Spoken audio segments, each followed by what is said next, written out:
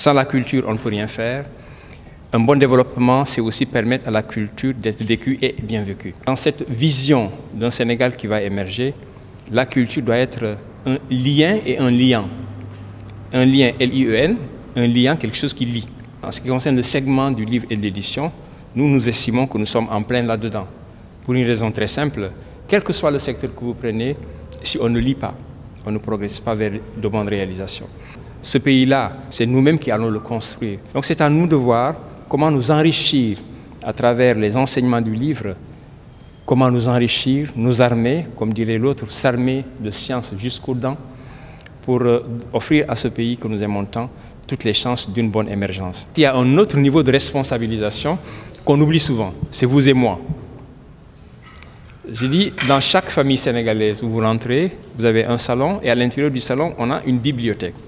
Alors, qu'est-ce qu'on met dans nos bibliothèques à la maison? Généralement beaucoup de choses, mais très rarement des livres. Et cela interpelle notre responsabilité. Alors, donc, l'État doit faire ce qu'il a à faire, mais le citoyen aussi a sa part de responsabilité. Et si nous voulons construire des choses durables dans ce pays, il faut que de temps à autre aussi, on se rappelle bien euh, de cette responsabilité que nous ne pouvons pas fuir. Le président de la République a prévu le démarrage effectif du mémorial Goré Almadi en 2020. L'École nationale des arts fait partie de ses priorités. La Bibliothèque nationale, puisque c'est cela votre question, fait partie de ses priorités. Euh, L'assiette foncière existe déjà, puisque euh, la direction du livre et de la lecture a dans ses missions la Bibliothèque nationale. Il y a une dotation qui est inscrite pour permettre le démarrage des travaux.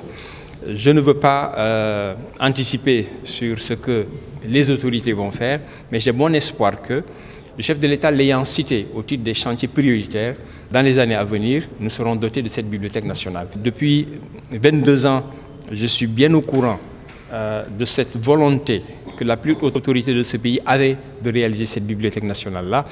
Bon, pour des contingences euh, que je ne maîtrise pas, nous ne l'avons pas encore eu, mais tout indique que désormais, il y a une forte volonté politique qui est là et qui nous permettra certainement euh, de disposer euh, de ce maillon essentiel euh, du réseau de lecture publique dans notre pays.